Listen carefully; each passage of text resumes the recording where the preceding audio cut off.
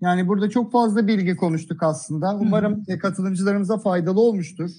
E, Ben öncelikle size çok teşekkür ederim. Zamanınızı ayırdığınız için, e, bizlere destek olduğunuz için bu konuda çok çok değerli e, bilgiler verdiniz. Bütün amacımız tabii ki de e, öğrencilerimizin daha fazla 2209 projesi yazması. Biz de e, hem TTO koordinatörü olarak DESEM üzerinden yaptığımız eğitimlerle hem kariyer koordinatörlüğü ayrıca fakültelerde yapıyor. Bunu sağlamaya çalışıyoruz. Sizlerin böyle bir son e, değerlendirmesini alayım.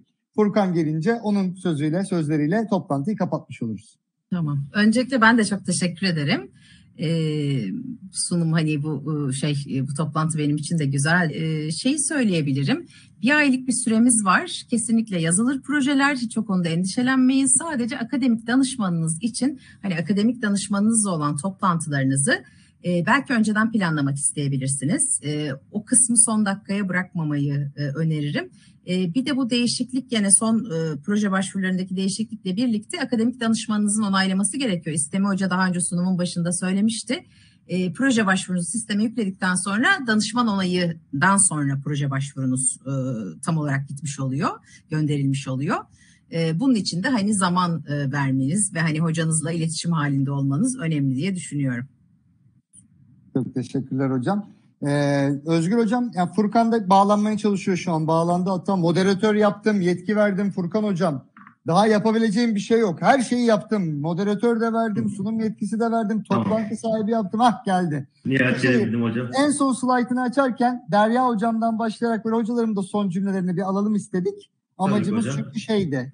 e, hani bir toparlayalım seninle beraber toparlamış olalım diye. Özgür hocam son size de çok çok teşekkür ederim. Bu kadar programınızda hem Derya hocam hem siz çok yoğun programınız var biliyorum. Kırmadınız bizi, katıldınız. Çok değerli bilgiler paylaştınız. Umarım çok faydalı olmuştur katılımcılar için de. Sizlerin de şöyle bir son değerlendirmesini alalım hocam. Sonra Furkan'a bırakalım sözü.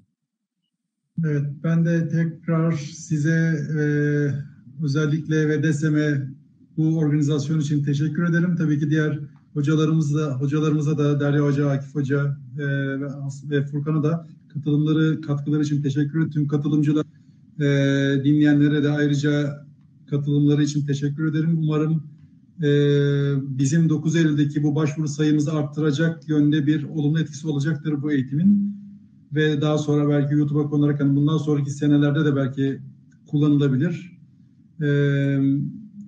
Valla başka şu an aklıma gelen bir şey yok.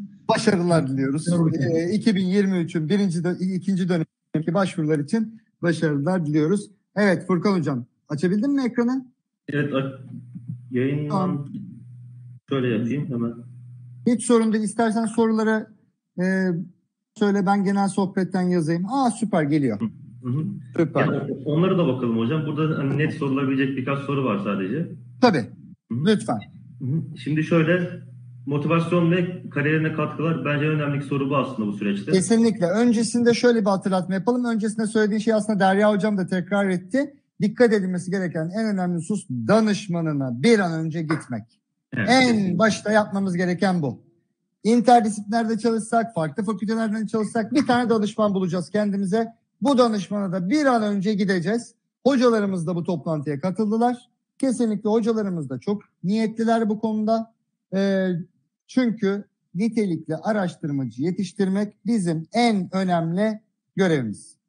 Kesinlikle. Dolayısıyla toplantıya gideceğiz. Motivasyon neydi? Kariyerine oldu hocam. Buyur. Şimdi şöyle, bunu şöyle başlayabilirim aslında. Şimdi şöyle bir gerçek var. Şu anda İzmir'de bile en az bizim bölümümüzden 500-600 tane mezun var arkadaşlar. Ve bunların hepsi %90'lık kısmı hatta aynı dersleri alıyor. Aynı şekilde mezun oluyor. Yani kariyerlerinde, sivillerinde herhangi hiçbir şeyleri yok. Sizin kendinize yapabileceğiniz en büyük katkı okulda hocalarla bir şey yapmaktır. En başta ve bunun da ilk fırsatı aslında lisans seviyesi için konuşuyorum. Bu projeler 29 2209 AVB. Şimdi şöyle bir şey var. Tü- Türkiye'nin en büyük bilim kurumlarından birinin onayını alacaksınız. Yaptığınız çalışma sonucunda.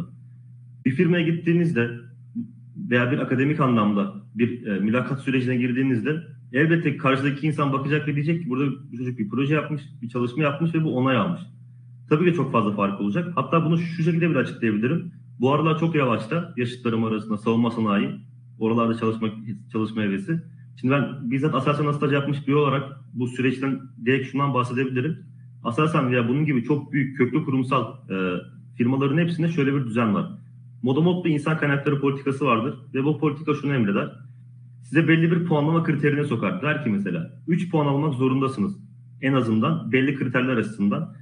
Ve bu 3 puanın içerisinde şöyle değerlendirmeler var. Yıl ortalamanızın bir kısmı, cumhuriyet ortalamanızın ve buna ek olarak da artı puanlar. Bu artı puanlar nedir? En büyük, Aselsan için söyleyeyim direkt bunu. En yüksek artı puan 0,1 üzerinden değerlendirilir. 0,1 puan en büyük artı puandır zaten. Mesela yüksek lisans yapmak size 0,1 puan etki eder. Mülakat sürecinize. Yap, başvurduğunuz işte 2 ile 5 yıl arasında çalışmak yaklaşık olarak 0,1 puan etki eder.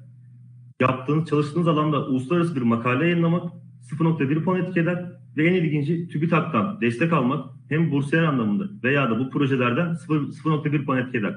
Yani aslında şöyle bir durum var. Sizin yüksek lisans yapmanızla bunun anlamı aslında büyük firmalar için hemen hemen aynı oluyor. İnsan kaynakları açısından. Ve en büyük motivasyonunuzun aslında bu olması gerekiyor ki bu, bu firmalar bu kadar değer veriyorsa demek ki cidden altında bir, de, bir anlam vardır. Ve en önemli ikinci noktası da şu, siz mülakatlarda yani bir iş mülakatı en fazla 15-20 dakika sürer, daha fazla sürmez. Bunu sizin arttırmanız gerekiyor. Nasıl arttırabilirsiniz? Yapacağınız çalışmalarla arttırabilirsiniz. Yani karşıdaki insanın size soru sorma hakkı olmalı ve bunları ancak projelerle yapabilirsiniz. Ve e, şeyin başında da bahsettim bunu aslında ilk konuşmada. Böyle projelerde çalıştığınız zaman kişisel olarak hem e, mental anlamda hem de profesyonelliğiniz, işiniz anlamında çok ciddi bir özgüven artışı kazanacaksınız. Ve şunun farkına varacaksınız aslında. Ne yapabiliyormuşum? Neyde eksik yapmışım? Neye odaklanabilirim? Bu aslında en önemli şey bu. Çünkü üniversiteden mezun oluyorsunuz. Benim çok fazla mezun arkadaşım var. Sudan çıkmış bala dönüyor. Ne çalışacağını bilmiyor. Hangi alana ilerleyeceğini bilmiyor. Bu tür projelerle odaklanmış olsaydı aslında en ne yapıp ne yapmaması gerektiğini biraz olsa farkına varacaktı. Ve şunu da unutmayın aslında dediğim gibi çok fazla e, işe talep var. Ve üniversitelerden çok fazla öğrenci arzu oluyor. Ve bu süreçte kaybolmamanız gerekiyor. Bu yüzden çalışmanız gerekiyor ve bu çalışmanın en büyük aslında noktalarından bir tanesi, en iyi yapacağınız alanlardan bir tanesi de buralar oluyor. Çünkü bir hocayla çalışıyorsunuz, bir ekiple çalışıyorsunuz ve gün sonunda gerçekten bir proje yazmış oluyorsunuz. Ve benim için şöyle bir şey olmuştu mesela. Ben burada bir tez yazdım. Bu benim hem bir bitirme tezim oldu. Hem de e, ulusal bir makalede yayınladım bu tezi. Yani aslında çoklu bir verim elde etmiş oldum. Bir taşla birkaç kuş vurmuş oldum. Ve kendi çalışacağım alanda belirlemiş oldum aslında bir noktada. Ve şu anda işte yüksek lisans yapıyorum ve devam edeceğim. Ve hatta bu sürecin sonucunda Akif Hocam bahsetmişti. 22.09A'dan sonra şu anda da 15.05 TED projesine yer alıyorum. Ve burs alıyorum. Direkt her ay TÜBİTAK bana aslında çalışmam için para yatırıyor. Ve bunu siz de kazanabilirsiniz. Ve bu aslında e, böyle temelinde projelerle başladığınız zaman bu süreç daha kolay. Ve hatta biz şu an yüksek lisans öğrencisi, öğrencisi arıyoruz mesela projeyi. Ve yetkin öğrenci bulamıyoruz zaten çok fazla. Mesela bu projelerde çalışan insanlar kendilerini hemen belli ediyor. Fakat uzak kalan insanlar da kendini çok çabuk belli ediyor. Çünkü çok fazla bir bilgisi olmuyor veya bir özgüvene yetişmiyor. Ee, ne yapıp ne yapmayacağını bilmiyor. O yüzden bu alanlarda çalışmak, bu tarz e, desteklerden yararlanmaya çalışmak ve projeler yapmak çok önemli sizin için. Ve hocam Duygu Hocam da bahsetmişti. Takım çalışması çok önemli zaten. Sektörde de bu şekilde çalışacak, çalışacaksınız. Yaşadığınız zorluklar olarak da şunu söyleyebilirim. Ben kişisel olarak en çok zorlandığım şey çalışma arkadaşlarım olmuştu. Çünkü çok fazla e, yetkin değillerdi ve çok odaklanamamışlardı konuya. Ve ben projenin büyük kısmını tek başıma yapmıştım. Bundan çalışma arkadaşlarına dikkat etmeniz gerekiyor. En azından bir şey bilmesi önemli değil. Sadece hedefinin olması ve çalışmak istemesi yeterli. Zaten hiçbirimiz bir şey bilmiyoruz. Hepimiz sıfırdan başlayacağız bazı şeylere. En azından çalışmak istediği sürece bu süreci atlatabilirsiniz. Ben buna zorlanmıştım biraz şahsen. Bir de rapor kısmına zorlandım. Raporları son haftaya bırakmayın. Defalarca kez söylüyorum. Ben bunu bir kere yaptım. Ve çok zor oluyor. Uykusuz kalıyorsunuz evet. gerçekten. Şimdi bu kadar hocam benim söyleyeceklerim. Başka soru varsa. Valla bak sen daha bağlanmaya çalışırken Furkan hocam hocalara söyledim. Hiç bizim gerek yokmuş. Furkan hoca baştan keşke ah, açsaymış. Hiç böyle bize gerek olmadan her şeyi e, söyle. Senin tecrüben çok önemli oldu. E, önemli bir şey söyledim. Ben bunu çok söyleyemiyordum. Bak nitelikli bir yüksek lisans öğrencisi bu işleri bilen arıyoruz, bulamıyoruz. Evet, dedim. Bu çok önemli bir şey. Ee, değerli arkadaşlar lütfen bu projelerin içine girin. Bunlar sizi sadece akademide değil sanayide de nitelikli bir araştırmacı, nitelikli bir eleman haline getirecek diyorum ve sözü değerli katılımcılara bırakıyorum soru ve cevaplar için. Sorusu olan Leyla Öğüt hanımefendi yazıyor şu an. Vazgeçti. Tekrar bakıyorum. Leyla Öğüt, Eren Altınay.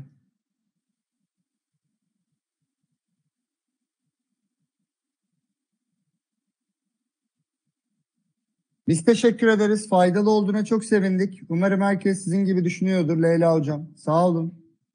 Sağ olun, var olun.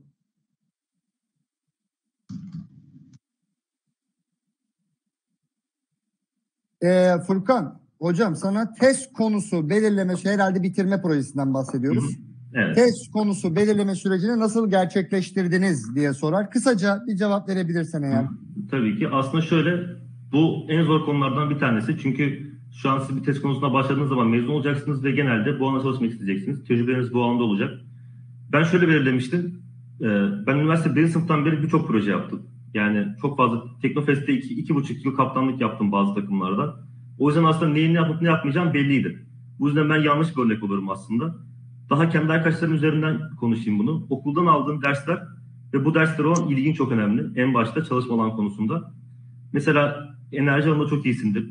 İşte mekanik anlamda çok iyisindir falan. Bundan zevk alırsın ve bu anı vermek istersin. Ondan sonra bunu belirledikten sonra hocana gidip bir hocamla konuşup hocam e, ben bu alanda çalışmak istiyorum. Biraz araştırma yaptım. Sizin yanınızda bir, e, birkaç ay bir projede çalışabilir miyim deyip ki ben bunu yapmıştım. İzin isteyip hocanın yanında çalışarak kendinin ve çalışmak istediğinin e, farkına varabilirsin. Ben şu an fazla yaşam malzemesiyle öyle tanıştım zaten. Üçüncü sınıfta Arif hocamın yanına giderek yapmıştım bu işi. Ve zaten şöyle bir şey. E, zevk aldığın bir konu varsa eğer bunun direkt farkına varıyorsun ve hocanla konuşup vizyonunu genişlettikten sonra ancak güzel bir konu belirleyebilirsin. Çok Diğer türlü benim, benim arkadaşlarımın yaptığı gibi aslında konudan çok da bağımsız olarak farkında olmadan devam edersiniz ve proje bittikten sonra bile bir mülakatta konuşamazsınız projeyle alakalı. O yüzden bence en başta derslerini gözden geçirip ben bundan zevk alıyorum.